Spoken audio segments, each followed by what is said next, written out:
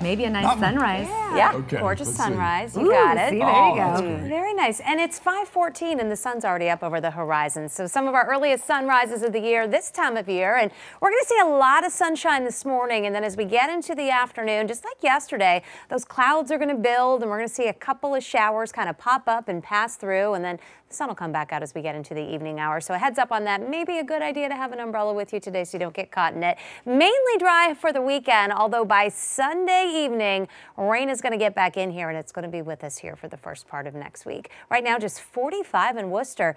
Kind of a chilly start this morning. 40 showing up Plymouth, Orange as well. Boston 57. It is 58 on the Cape as you're stepping out.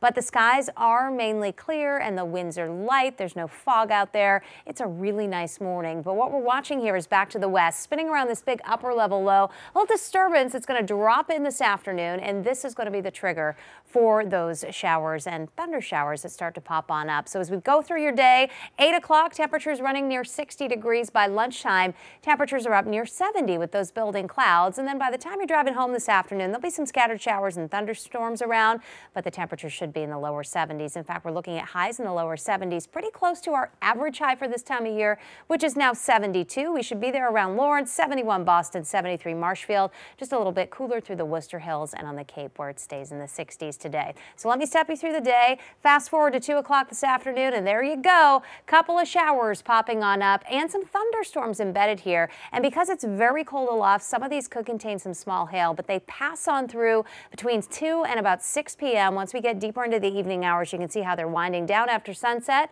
and the sky should clear out overnight. At least partial clearing is expected. Tonight, our temperatures are down in the 40s and lower 50s, and tomorrow, not quite as mild as today, upper 60s to near 70 degrees. There'll be a fair amount of clouds around in the morning, but blending with the sunshine throughout the day. I think the skies brighten up a little bit more later tomorrow afternoon. Sunday may start with some sunshine, but then the clouds are going to build. And look at this as we go into Sunday night and Monday, another storm system approaching. This is going to have about a half an inch to an inch of rain with it.